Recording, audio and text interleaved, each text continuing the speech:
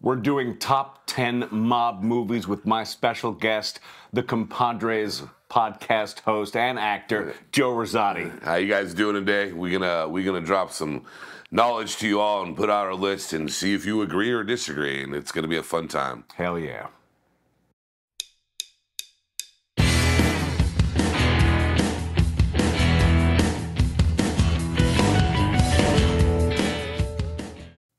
Thank you for tuning into the Tom Bottelsen Show. Like we said, we're doing the top 10 mob movies with my special guest, Joe Rosati. I've known you, get this, for 18 Yes, years. yes, 18 years. 18 years. We've been friends and uh, worked in the trenches together as bartenders together. Yes, we have. and uh, even became, you know, still friends with our Raider Bronco rivalry. He's, he's, he's, he's one of my best friends, and he is a Raiders fan. I'm a Broncos fan. It is, it is, we are proof that healing can exist, okay? Yes, exactly, and uh, not only that, but you know this this list that we've gone through. We used to go through movies all the time. We worked together. Yeah, we did. And, big uh, movie house. yeah, so this was uh, really, to me, it, it's way overdue. It is no. It- you were my first thought when I thought Yeah. we would do mob movies. I love this. so start us off. Tell me what. Well, first of all, as far as mob movies, we were talking about this on whether or not they were mafia movies, Italian or whatever. So the term mob is is going to be really general. in general because it could go into the gangster part too. Yes. you know, gangster sides of it. You know, we're gonna hit every one of them, and the list is very, very. Uh, it's gonna be eclectic for both of us, and I'm You looking think? very. Oh yeah. I'm looking forward to number ten. okay. Give me number ten. You go first. I'm gonna go with Gotti, and when I say Gotti, I'm not talking about the one that was just released. I'm talking about the one with the Monasante. The HBO Yo, movie Gotti. When HBO did their own movies at that time, you know, because now you know they they still do it, but they, they were the ones that really kind of, as a network, started it. Armand Assante was unbelievable in that role. He, he was so good in. Watch that one, not the new one. Seriously, don't watch. Well, okay, you can watch the John Travolta movie. I've seen it. didn't It's got a lot watch of issues, but uh, Armand Assante's Gotti uh, with uh, who plays Sammy the Bull? I can't remember. Oh no, um, we'll put his face right. here. yeah, he's right here. yeah. he's great. And I can't remember his name. Yeah, I can't right remember his name, But uh, yeah. he's great, and it's the entire cast of The Sopranos. Yeah, basically It's before The is. Sopranos came became out. The Sopranos. Yes. Oh, that is true. a great pick. Yeah. That is a great Yeah, pick. yeah. All right, my number 10. I decided uh, there was some movies that I was going to put on there, and I bumped one of them recently when I decided I'm going to put a documentary on. I put a mob documentary, and I almost put Fear City from Netflix. That's a three-part documentary series about the mafia. That's great. But this one discusses, it's from 2014, and discusses one of Massachusetts' favorite villains. This is Whitey Bulger's documentary called Whitey. 2014. Yes, and I, you know what? There's there's a lot more about Whitey than people think. You have that documentary, Oh, you yeah. Black Mass, and then Departed Two was basically based off of him. Yes. So Whitey Bulger is a fascinating story and a fascinating, horrible person, but Yes. it is a great documentary. Highly recommend and he did hide for 20 years in down the street in Santa Monica, which I thought was interesting when we found him. Exactly. Number nine, American Me. American Me. Yeah. Oh, I love American Me. Um, I what I found fun, what I found funny about this is, you know, Edward James Olmos used to come in to used to come into the place where we, used to work, and he's the nicest guy. nicest guy, and I remember talking to him about it, and I've seen that movie a lot, and you know, William Forsythe too. I ran into him a couple times and talked to him. I mean, he was William Forsythe is, is, is the guy we were talking yeah, about. Yeah, He, he plays Sammy the Bull. that was that was okay. Yeah, okay. But in American Me, he plays JD, yeah. and he was just so good in that role. American Me's a great. That's a great film. Yeah. Yeah, I'll, I'll put that under mob movie as well. Yeah. That's a great. Yes, it was. American Me. All right, number nine for me. Number nine for me uh, is not my favorite Martin Scorsese movie, but it's up there, and we just mentioned it. It's the, from 2006, The Departed. The Departed stars Jack Nicholson and Mark Wahlberg and Matt Damon and Right. Leonardo Yes, DiCaprio yeah. and, and, and, and Alec Baldwin. It is a blockbuster cast. It is riveting. You don't know what's going to happen to the end. I won't spoil it for you, but watch The Departed. I love The Departed. And you know what? It's Jack. Yeah. Jack was amazing. And um, actually, that was going to be next on my list. So I'm going to have to do a little curveball. You didn't have It- curveball. Let me know what it was. It, if- it was, if number, nasty. eight, number eight. Number eight was going to be The Departed Number eight is the Departed for me. So, okay, so yeah, this so we're on the yeah. So yes. So I mean, that movie I watched it the other day. Matter of fact, I just Jack was so good in it. They all were, and they, they have lines in that movies that we say all the time, and it's just it's just fun. It's just fun to watch. It's a We're gonna time. smoke. We're gonna smoke, but with the guys who smoke. Health nuts. Go fuck yourself. Alec Baldwin has the best It lines. does through the whole movie. All right, your number eight is The Departed. My Yes. is The Departed. So Okay. my uh, so my number eight is from 2007, and surprised me because it is a serious acting chops movie and not a shoot 'em up gangster Right, movie. right, like a lot of right. But I have to go with uh, 2000. Did I say seven? Yeah. Yeah, 2007 with Denzel Washington and Russell Crowe telling the story of Frank Lucas, American Gangster. That's a great film. That's and it's on my movie. list. And actually, I have some. You'll see my list. We're gonna get there. It's We'll, a little. we'll get there. Sure we it's get there, there. yeah. It's American uh, Gangster is a good dramatic portrayal of uh, showing really the nuts and bolts of being a mob family. yeah, basically Showing how the, how the drug I mean, yes, and he brought in his whole family, his actual family, to help him out. actual I mean, family. It's you know that movie grew on me over the years, so it was a fabulous film. In interviews uh, with the actual Frank Lucas, Denzel Washington talked with him and said, could he go back and change anything? And Frank Lucas said, no, not one thing. Right. He would do everything exactly Yeah. the same. yeah. Yikes. Uh, my American Gangster. my number seven is the original Carlito's Way Ah, with Pacino. Luis Guzman's in that as well. Um, it's and it- Sean Penn And Sean Penn, I forgot. Yeah, well, his cocaine habit through the with the time. great hair. Yeah, Let's get the great best hair. And uh, the thing about that is, this movie is it is a gangster film, and a lot of shit goes down, but it's also the love story, and him trying to get out. And then when when it happens, you know, if anybody hasn't seen the original, you need to watch that movie. Carlito's Way is great. Carlito gets out of prison, I believe, Yes. and wants to start his life anew. and then- he's not. and He, not. he's pulled right back into to the life he wanted to get rid of. Uh, Penelope and Cruz. Yes. love interest. I believe so, and also um, It's here. the guy that plays that kills him at the end.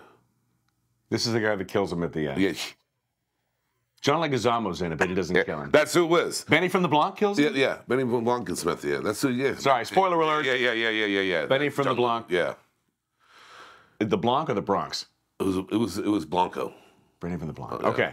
Benny Blanco, I believe, from the Bronx. Oh yeah, Carlito's Way. You haven't seen that in a while. Watch that. That's a great pick. That's number seven. Yes. Number seven for me. We're going across the pond. Wow. We're going across the pond to England on this Wow. 2000 because there's lots of nefarious activities Wow. in the brilliant Guy Ritchie Snatch. Wow. Snatch is my mob movie, which has the mafia, people who are hiding from the mafia, people who want to make money from the mafia, uh, thieves, villains, assassins. It's just one big mix. Snatch is a brilliant movie. I love Snatch. And the dialects are amazing. Yes, Brad can't- Pitt is you, the you- You can't even understand them sometimes. That was a fun film too to watch. I, I, I that did not make my list, but I like the curveball you threw in there. I exactly. appreciate that. Jason Statham. Bro, the Germans told me. yeah. Why they, why they call him Boris the Bullet Dodger? Yeah. Because he Dodges bullets heavy. oh, it's great. Oh, and who was that? That's uh, Dennis Farina? Yes, Dennis Farina. Dennis Farina. Oh, so good. Oh, and I just realized that Get Shorty's not on my list. And I don't know if that could be a mob movie, but I love Get Shorty. Well, you know, Midnight Run's not on mine either, but that kind of Oh, was, you know, Midnight Run. Because I mean that that I, that one scene I just love. I said it the other day. Am I talking to more on one or more on two? Get more on two on the phone. Dennis Farina was so cold in that movie. He was just amazing. He was amazing. God. So uh, for Num- number number six. six, John Singleton's Boyz n the Hood. yeah. Um, you know, uh, when we look at films and they break, you know, times and everything, Godfather did so much. I believe Boyz n the Hood took everything to the next level after that too. That film, Everything changed after it- Boys. yeah, I mean that that film was very well made. It was well written, and it was a lot of tragedy and everything else. But it was, you know, Cube. He was amazing in it. Ice Cube did a great job. Ice Cube, and so did uh, uh, Cuba Gooding Jr. Junior June Jr. And actually, true story, I remember Ricky If anybody knows this movie, if you haven't watched Boyz n the Hood, I don't even know what to say to you. But Ricky in that movie, who the guy that played young, the younger Ricky, he was my Uber driver twice when he drove me to set one time. It was the funniest thing ever. L.A. That's LA. Living, that's living in L.A. right there. He was a good man. Uber driver. Yeah. Boyz n the Hood. That's a great pick. Yeah, it is. That's a good pick. Yes. All right, number six. 1995. There's so mo- there's there's so many bodies in the desert. You got to have the hole dug before you go out there. It's Casino. Now Robert De Niro's on my list a lot. Right. Robert De Niro, Joe Pesci, and Sharon Stone, James Woods, Don Rickles. Casino is one of my favorite movies where they actually show how money was made in Las Vegas. Right. We always heard the mob runs Las Vegas. Yeah, no movie shows you Showed it. anything. Yeah. And Casino was the first movie that showed that, and it came up. Oh, Casino's a great film. That's a great mob movie. Lots of mob actors, and it's all Martin Scorsese, who's now on my list twice so far. Since mob movies, after all. Yeah, exactly. Because I mean, at the end of the day, I think we all know the best director of all movies is Scorsese. I mean, Martin Scorsese. yeah. He's fantastic. That was number six. We'll be back after a short break to continue with mob movies. We're back after a short break. and now it's going to be five to one. Best mob movies. Yes. Favorite mob movies. Yes. Our favorite. Our favorite. Not the best. I'm not going to say any kind of grand thing what we're talking and about. And everybody's got a list, everybody's got an opinion, and there's no, there's not a debate. This is my list and your list. Every time I do a top 10 list, someone says, How come you didn't mention this movie? And I go, Oh, wow. Yes, that's a great movie. And please do. In the comments, Right. when we miss something, point it out because, yeah, there are tons of movies. But back to the list. Joe, give us number five. The Untouchables. Oh, hell. I'll tell you what. That movie with you know you had Andy Garcia, you had uh, Sean Connery. Sean Connery, God, Sean Connery, Kevin Costner. Kevin Costner, and then De Niro as Capone. And there's some really, and I, who, I don't know who plays Frank Nitti in that, but he he was good too. I don't know, I can't remember the actor. His name is this, and he's right here. Wish it was. That's how we do it here. That's why editing exists. So yeah, it- there you go. There you about there you go. He was great, and I think the real Frank Nitti didn't die that way. But Yeah, oh but my God, it was just a great film. I mean, I still remember the whole thing when Capone, you know, De Niro hits a guy with a baseball bat in the meeting. You know, the the the uh, the opening crawl sequence for the credits. The the man that did the score is Ennio Morricone, who did the Good, the Bad, and the Ugly, Right. and the Hateful Eight. And the very beginning of the Untouchables has a great score. Actually, the, the score is great throughout the entire movie. Right. And I love that. Oh, it's so it's so good. Didn't David Mamet write the screenplay? I believe yes, he did. Yes, he yes he did. I mean, no wonder it's no. I remember that because I was in college at the time, and I was learning a lot about Mamet and his work. And then when I would go deeper, I was like, I was, damn, he wrote The Untouchables. I mean, It's it's a great, it's a- entertaining. yes, it's a great film. if you haven't Really seen it. I don't know what to again. If you haven't seen some of my list and you know me, I mean, I know you know Tommy, but you, you if you know people know me as well. I don't know what to say to you. This happens on KO's list too. He always like, if you don't know this movie, I don't want to know your face. Yeah, I, I, I don't know about the face. I'm just like some stuff you got to see, and I'm going to go into deeper later down the list about something. The Untouchables. That's fantastic. Uh, we can skip to yours because my number five is The Untouchables. Great minds think alike, no matter who they are. For 18 years. Yeah, My there you five go. Is the Untouchables. All right, number four. All right, now Tommy already mentioned this film, and it's uh, pretty high on my list, obviously. American Gangster. American Gangster. And I and I remember when I first watched it, I was like, eh. Then I watched it again, and, eh. and then I go, it's well written. It's one of those movies that it does take a couple to tough get, you. to get you. And I, after watching it, it's a great film and it's a great story.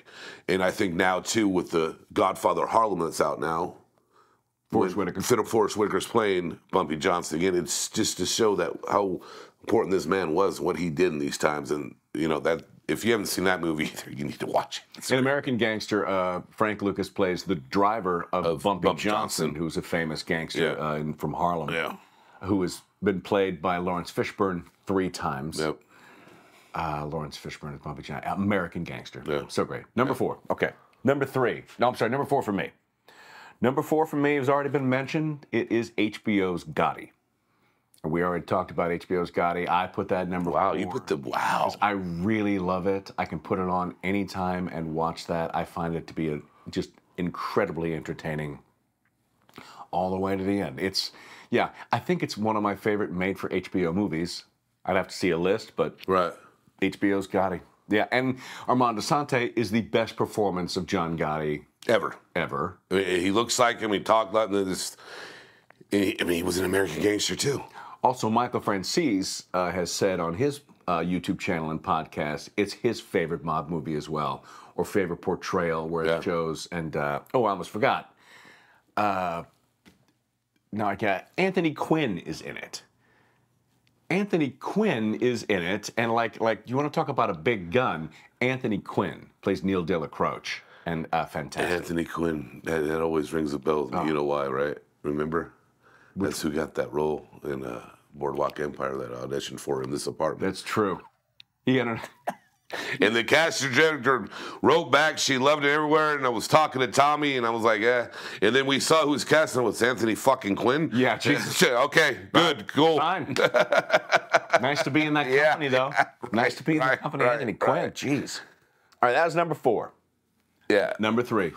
Go get your fucking shine box. Really, Goodfellas. Good fellas. Good fellas. From I, 1990, Martin Scorsese. I, I tell you what, you know, another Scorsese film, but that one was just the cast. The cast was so good. Oh, I mean, it, you know, Lorraine Bra- Lorraine Bracco, De Niro, Ray Liotta. Ray Liotta, Pesci. Joe Pesci, Frank Vincent. I can say that is Ray Liotta's best role. I think he'd agree with it if he was still with. Yes, Rest in right, peace, yes, Ray Liotta. yes, yes. Uh, and Lorraine Bracco, too. Yeah. Uh, Well, maybe Sopranos.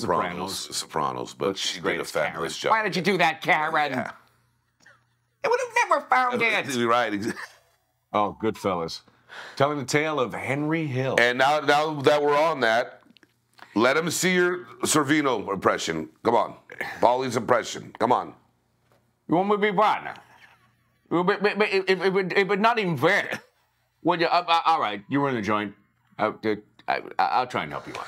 I'll try and help you out. He's been doing this for 15 years, and I still laugh every I've- time he does it. I, I love No one it. does I a love Paul it. Sorvino. I do a Paul Sorvino. He does a great Paul Sorvino. We, we, we're not even, we're not even fair. oh, yeah, Goodfellas. That's a great pick. That's a great pick. All right, number three. Number three comes from 1972, and it is most people's number one. I can say that without a doubt. He'll make you an offer he can't refuse. It is The Godfather, directed by Francis Ford Coppola, starring Marlon Brando and Al Pacino, James Caan, Robert Duvall, Talia Shire, going on and on and on and on. It is still. Eh, the Godfather is just a brilliant movie it- to this day. And for our buddy uh, Hammy, our buddy Eric loves Yeah. this movie to fall asleep to because he can't stay awake while watching it. Don't start this late at night. It's a big talky movie. It is. The Godfather. Yeah, it It's epic and is number th- number three on my list. So, number two, I want Scorsese back to back, Casino. Casino. And he already mentioned it. But again, that film, it was more about the gambling and the mob. And it was just so well done. And again, you had Pacino, Frank Vincent, you know, De Niro. De Niro, De Niro, oh, sorry, De Niro, Frank Vincent, Joe Pesci. You either had, you even had uh, the real estate guy. What was his name? Uh, Pollak. Um, oh, Kevin Pollak. Kevin Pollak It was in it. I mean, Kevin Stone was in it. Alan King is James Woods is in it. I mean, you just the, the list of actors is just amazing. So I mean, that's Love Casino. Love Casino. We got your number two because I know we, we already talked about Casino enough. So. Number two. Number two came out two years later after my last movie from 1974. It is, I will say, the best sequel ever made, I think is my argument, at least for me. It is The Godfather Part 2. And the best part about The Godfather Part 2 is they split the movie in sides where you see a young Vito Corleone played by Robert De Niro, and then you see Al Pacino as his son going back and forth, and you see rise to power and total destruction of a human being. It is so gripping and so great, and The Godfather Part 2, it's the greatest sequel ever made for me. I think that is amazing. Well, I agree with you totally, and uh, everything's gonna make sense. And when I drop this right now, But don't drop this right now. okay, Because before we drop number ones, let's talk about what didn't make the top 10. Yeah. What do you got on your list? I have. You got honorable Are we going to do three? How many honorable mentions you want to do? List them all. Okay. So I have Road to Perdition, Juice. That mo- uh, if anybody hasn't seen that movie I haven't with seen- Wesley Snipes, been a while Tupac's in it. That's a great movie. Uh, Once Upon a Time in America might have made my top ten if it wasn't so long. If you have four hours to waste, watch it. It's a great movie. It's a great cast. Um, and then I also had Bronx Tale Oh, I love Bronx Tale. uh, Gangs of New York, Donnie Brasco. I mean, I, I could go on and on. I mean, there's so many, but I mean, this this list is very hard to do. My my list of of almost on the things is Blow, The Irishman, Scarface, which we both talked about. Yeah, we talked love about Scarface, it. but it's, so 80s. and It's, so it's over. It's too over the top for me. over the top. It's funny though to me today. Mob now. movies, I've got to toss in one of my favorites, New Jack City. Oh, there you. Ooh, I forgot about. See, yeah, Road to Perdition, Eastern Promises, which There is the go. Russian mob movie with uh, uh, Vito, uh, Viggo, Donnie Brasco, The Town, Hoffa, then a real deep cut. We're going across the pond to Japan for Black Rain, Gangs of New York. Public Enemies, that's with Johnny Depp playing Right. John Dillinger. Black Mass, the aforementioned with Johnny Depp. Carlito's Way. Legend, which is Tom Hardy Right. playing the Kray twins. Bugsy, Bugs. Yeah, wow, that's uh, yeah. but we like Bugsy was way down yeah. on my list on that. But uh, and my favorite Roger Corman movie next to Death Race 2000 is the St. Valentine's Day Massacre, which is maybe not a great movie, but I love Right, it. right, right, right, one of right. those great movies. And then, yeah, and I have, you know, Hoodlum's in there for me too. That was a great film. Hoodlum was a great uh, film as well. Um, you know, we, got Tim Roth as uh, as Dutch, yeah. As uh. Hoodlum was really good. You know, I mean, and we you already mentioned Snatch was on your list. That was another one on mine. I mean, I, we can go on and on about this, and I'm sure I've forgotten some, but it's just well, again, we like to do this on the womb, kind of. Exactly. You know, I just this is a conversational piece. So, So number one, okay, number one coming. this is what I did, and a lot of people might not know this, but Godfather One and Godfather Two was supposed to be one movie, and that's what I'm picking. So you're saying the Godfather The God saga? Yeah, God, not not three. minus the third. The, now three could get a little bit of an honorable mention, maybe, but it was just it, it, the the first two were so good, and then the, the other one was eh, at the end. You Godfather know, three doesn't get much love, No, it but does not. I think it's okay. yeah, it's okay. I agree with the, the critics about it, but I still like it. But to this day, there's the opening scene to Godfather is just um, I've never seen anything like it. Again, there's a couple of honorable mentions maybe there. I mean, the professional. That, I love the professional. Yeah, the professional opening scene was really deep too. That could be on. That's an honorable mention too that we didn't bring. But back to one and two. But when you look at Godfather one and Godfather two, I've seen those movies uh, over a hundred times. Yeah. and I, and I watched them when it's on because it was just so well. And that's what really made cinema and film. They were like the they they broke the ground with it and they went running with it. And when I went when I studied theater at Fresno State, I was still amazed that people never saw The Godfather, and you are in the you want to be in the business of acting, Seriously. you know, and that really bothered me. We've met a lot of young actors who haven't seen movies of the past. Yes. It's you've got to. I, I know it's a lot of homework. I know it's a lot of homework, but you got to watch. Got to watch your craft. Yes, you have to, especially you're with everybody that. you You know. listen to a lot of music. Exactly, You're an actor, exactly. Watch a lot of movies. Go to- Exactly. Go to, theater. Do see things. Godfather one and two. I I agree with that. Yeah, because it's supposed. No one knows that it's supposed to be a one film. It'll be like six hours. my number one, my favorite movie, we've already discussed it, is Goodfellas. And it is my favorite Okay. Martin Scorsese movie. I knew I would have Godfather 1, 2, and Goodfellas. Those are going to be my top three, and I went between which is going to be which. But Goodfellas is so entertaining to me as a mob movie. Yeah, You root for them, and then you root for their decline, and then you watch them fall. I mean, it's the rise and fall of the American gangster. And uh, and you know a lot of people don't know Samuel Jackson was in that film. S- uh, Stacks. Yeah, Everybody loves Stacks. He used to play guitar by the bar. Samuel L. Jackson. And then when his character gets whacked, he, the other guy's making a cup of coffee. We can Make take that that cup to go. And he's get the. What you what you do? I'm the Wayne Seacock is doing a bank jump in the middle of the fucking weeds, lying down. Then this big prick comes up. Oh. Uh, you know what, Tommy? After doing everything on this today, and it's been so much fun. I just still think you should do a show all about your impressions. but I, I, I, do like four. I do like four impressions. Uh, you could do more. I'm sure you can. Yeah, I'm sure you can. So. That is 10 to 1. Um, we're going to put, they'll be flashing up like that because uh, where are they going to find you, Joe? It's going to be posted right beneath you. Obviously, you are on the Compadres. Yeah, I am a co host of the Compadres. Uh, shout out to uh, Il Sun and uh, SB Press and the Compadres Love and, and Mastermind Media as well. Um, you can find me at the Real Joe Rosati on the Instagram, and then on YouTube we have the Compadres. YouTube, Spotify, Apple, I mean everywhere. So just uh, we appreciate you uh, reaching out and watching our stuff. And hey, reach out to me all the time, DM me, whatever we can talk. I'm always there. You ain't laughing, you ain't living. We're going to post some stuff at the end, like I always do, of links you can watch it. I'm going to post my compadres uh, interview and episode Very and some other stuff like that. But come back and see us next time. I'll do another top 10 list. We're going to talk about board games. We're going to talk about pop culture, movies, and all the nerdy stuff we love. And until I see you next time, as always, thank you to my guest, Joe Hey, I had a blast, and you know what? I'll be coming back on again. We we got some other stuff we can talk about. This was a great time, real fun. Till we see you next time, peace, love, live long, and prosper. Have a good one. And I mean it.